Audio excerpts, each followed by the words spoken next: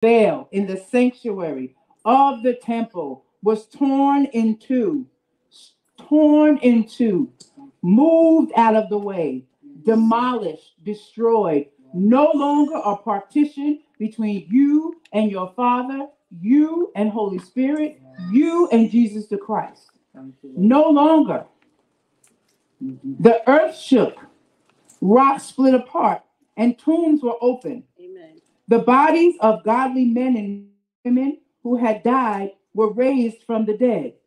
I came to tell you all today that those of us who are in the house, who have given our life to Christ, that our job is to continue this process just like Jesus did. Amen. Right. It is our job, godly men and women who who had died, to go out there in the earth, to and fro, in the highways and the hedges, in the places of hell that we don't even want to go to, right?